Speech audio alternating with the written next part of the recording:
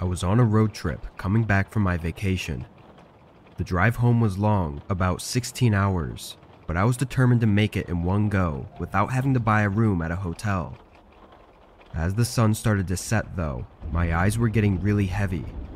I forced myself to stay awake by snacking on some food I brought with, but that only lasted so long, and I knew I'd eventually need a break. At least just a nap for an hour or something, but maybe even to cut my losses and sleep until morning. The road was empty though. There were no towns or anything in sight that I could stop at. I zoomed out on the map and tried to see what places were coming up, but the only close town was an hour away. I really wasn't sure if I could safely make it there, and after a couple more minutes, I knew I couldn't. I saw a sign for a gas station half a mile down and turned off the highway. The gas station was the only building on this exit, sitting at the corner of an intersection with two deserted roads leading to what seemed to be nowhere. Pulling into the parking lot, I also noticed that the main building had all its lights off. The actual gas portion was still lit and looked like it was still usable, but I guess they don't have any workers there overnight, which made me a lot less comfortable. I parked right on the side and spent the next five minutes keeping an eye out and making sure this place was safe. From what it looked, nobody came here. No cars came in for gas, and not a single car even passed by on the road. It was an eerie place to be, that I won't argue with, but I didn't necessarily feel unsafe because nobody was here. I leaned my seat all the way back, turned off my car, and fell asleep. I don't remember checking the time before I fell asleep, but when I opened my eyes, it was 2 a.m. I was in that foggy state of waking up, unsure why my eyes opened, until I heard a clanking sound from outside. I turned my head toward the main part of the gas station.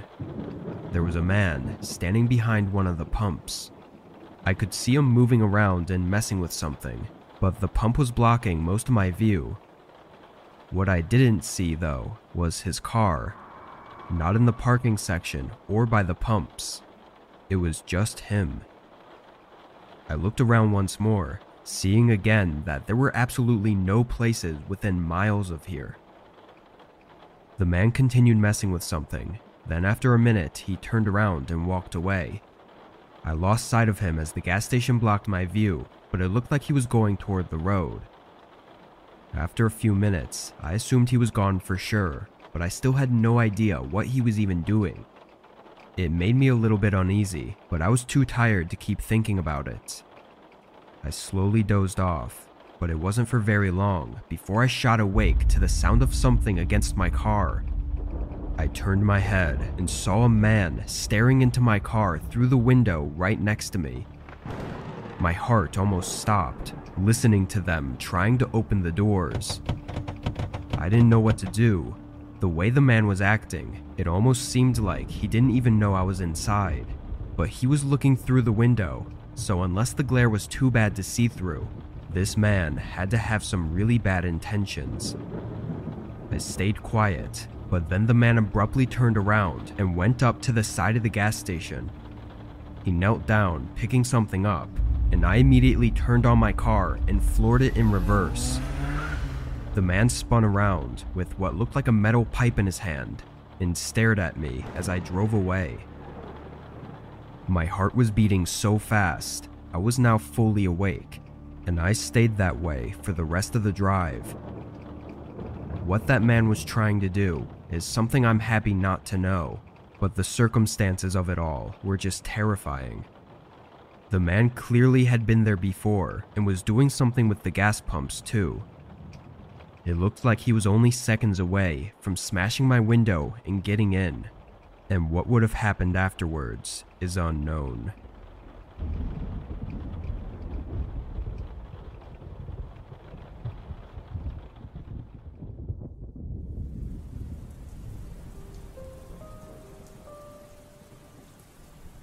This was on a regular weekday night. I was at home by myself, drinking a cup of coffee while staying up late in my room to get some work done. I had a tight deadline, and working late this night would make the rest of the week a lot easier on me. I was on my laptop at my desk, really focused and slightly tired, but my focus was broken when I heard a thump downstairs. I looked over at the doorway to my room where the sound echoed from, but remembered that it was raining outside and that the sound was probably just the house creaking in the rain and wind. I continued working, only to be interrupted again a moment later by another thump. I got up and walked to the bottom of the steps. All the lights were off, but I waited for the sound to come again so I could try and locate where it was, just to make sure it wasn't anything serious. I was still tired and had no reason to believe this was anything other than the house making sounds, and after a minute of waiting, I went back upstairs. Waiting around for something that was likely nothing was just a waste of my time, which I wanted to be spending on work so that I could get to bed. I went back to my laptop and worked for another hour and a half, not hearing any more sounds from downstairs, aside from a few small creaks every once in a while. It was close to 1 a.m., and I was just finishing up what I needed to get done for the night when another thump echoed through the house. This one was much louder and sounded like it came from the bottom of the steps. I got up and rushed over to the stairs, a little more concerned now, but nothing was down there. I went down a few steps and looked over the railing, but the house was now just as quiet and empty as ever. The rain was still coming down, but this seemed to be far too loud and frequent than anything rain could be causing. After waiting again, though, I got impatient and went back to my room. I had no idea what was going on, but I still couldn't see how it could be anything more than the house creaking. I sat back down at my desk, and it was almost right away that another thump rang through the house. This time sounding from right in the hall outside my room. I looked over at the half open doorway, and not even a second later, a figure walked past it down the hall. My heart stopped for a moment as I felt a wave of shock run through me. I heard them walk into one of the spare bedrooms, and figuring they had to know I was home already, I ran up to my door and locked it shut. The footsteps stopped instantly, then began quickly going back into the hallway and right up to my door. I backed up and tried to find anything to use as a weapon. In this moment, I probably could have called 911, but I think I was too worried of something happening before they would have time to arrive. I picked up a pair of scissors from my desk as the man banged on the other side of the door. He then started what I think was kicking it, because it sounded as if the door could snap out of the frame at any second. But then he stopped. I heard heavy breathing from against the door, then footsteps going down the stairs. I got my phone from my desk and called 911 as their steps started making their way through the downstairs hallways. A door closed, I think it was the back door, and then the house was silent. Police actually came really quick, getting to my house in just two or three minutes, and I almost had another scare when I heard footsteps sprinting out of the house. I think by closing the door, he was trying to trick me into thinking he left, which kind of worked, but I was still too scared to go downstairs without the police being there. Anyway, I ran out and got the police, but whoever that man was had already run off, and even with more cars patrolling the neighborhood, they never found him. There's so many questions to it that will haunt me for the rest of my life, probably especially since he's out there right now and could be stalking me or waiting for another time to break in. His intent is not clear, but the investigators seem to think he had broken into the house in the morning, possibly while I was out of the house.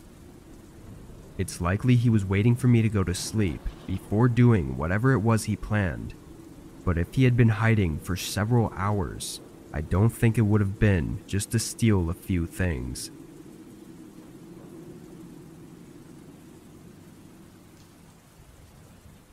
Before I get into this next story, I want to talk about an important sponsor for today's video. Aura is an advanced online digital security service allowing you to scan and remove your personal data from various online sources, including scam centers, the dark web, and data brokers. These entities profit from your private information making it crucial to eliminate your data from their reach. And Aura makes it as simple as possible for us to do this. With their free trial, I was registered in minutes and had Aura scan and remove my data with just a few clicks. They notified me about dozens of places all across the internet where they found my personal data, like my full name, phone number, and address. And without Aura, I never would have known. Afterwards, Aura continuously monitors my data, instantly notifying me of any issues that arise and enabling swift resolution.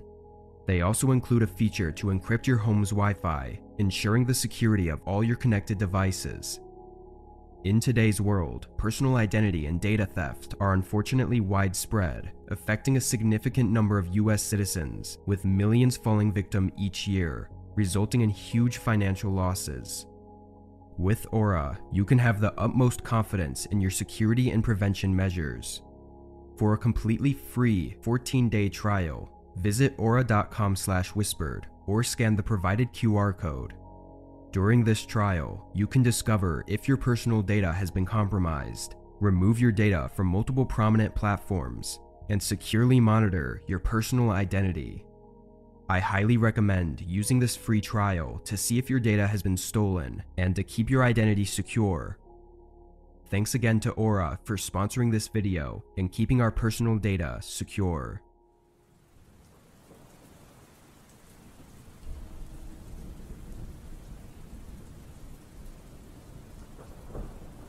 I work 4 days a week on 10 to 12 hour overnight shifts, which means I have to sleep during the day and be up at night at least 4 days a week. However, switching up my sleep schedule on my days off usually causes me to get much worse sleep and just feel tired, so I started sticking to the same schedule all week. I'd usually get in bed around noon and wake up at 8 p.m. It was hard to get used to, but I had to do it for work, and after a few months, it wasn't too terrible. On one of my days off a few months ago, I got up at 9 p.m., having breakfast and doing some chores, then went out for a run just before midnight. This was a somewhat normal looking day off for me. Sometimes I would have my lazy days, but for the most part, I'd try to go for a run within the first few hours of my day. My house is right next to a forest preserve, so I take the same path every time. It's basically just a big loop inside the forest preserve, and I'll go around it as many times as I need before I feel like I'm done. I started going along this trail, looping around two full times before a man appeared on the path. When I first noticed him, he was too far down to see well, but it looked like he was just walking. As I started to get closer though, I realized he wasn't moving. He was wearing a dark sweatshirt and baggy pants, facing my direction as I approached him. When I passed by, he slowly moved his head to follow, like he was watching me. I looked back and saw him still standing there. It creeped me out and had me thinking for a couple minutes, but when I looped around again, he was gone. I don't know if maybe he took a shortcut through the woods. The exit was on the opposite side from where he was standing though, and he definitely didn't pass me on the path. Him having appeared and left in such a strange way gave me a bad feeling, causing me to cut the run short and head home. I left the forest and jogged through the street to my house. When I got inside, I chugged some water and sat down, only to be startled up by a sound right outside my front door. It was almost 1 a.m., so nobody should have been at my house. I walked up and looked through the peephole. A man was on my porch, and I recognized him from his dark sweatshirt as the same man from the forest preserve. I felt my stomach drop as I watched him just stand there. He didn't knock or ring the doorbell. I must have watched him for a whole minute, seeing the man do nothing more than glance around a few times. I started to get really creeped out thinking about how he had to have followed me home and was clearly not behaving normally. I walked back to my kitchen and quietly dialed 911, telling them about a possible stalker that was outside my house. After reporting it, I went back to the door and the man was still there. He stood in the same place, glancing around and never knocking or anything for the next 10 minutes. Even when the police car pulled up, he didn't run. He acted like nothing was wrong and gave no explanation for what he was doing at my house or why he followed me. Almost equally as terrifying, they couldn't actually hold the guy under arrest because he hadn't really done anything yet. It was clear his behavior was off and something was wrong with him, but it wasn't enough to do anything about it. I don't know why that guy followed me and creepily stood outside my house, but with him behaving the way he was, I wouldn't doubt it if he had something horrible in mind.